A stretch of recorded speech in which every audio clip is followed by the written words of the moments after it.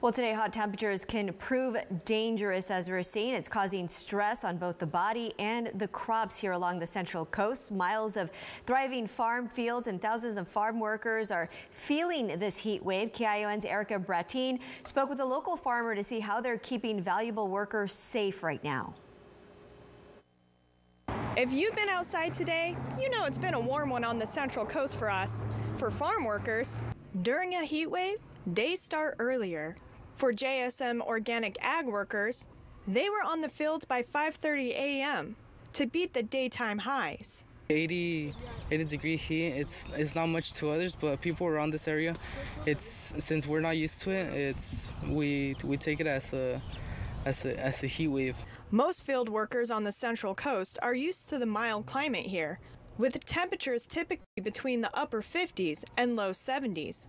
But when temps start to soar, it can feel uncomfortably hot.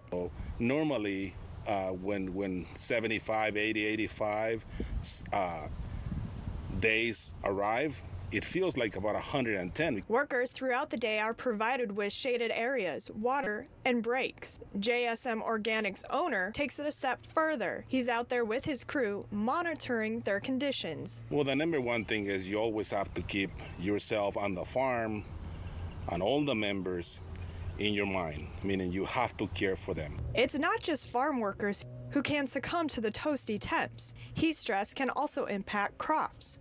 And for our area, which has miles of thriving farm fields, it can be a negative impact on the multi million dollar industry. If it gets too hot, the strawberries will actually uh, uh, get burned. They'll blister and they will melt. Losing crops might hurt the pocketbook, but it's damaged goods that can be replaced. For Zamora, that's not his number one priority.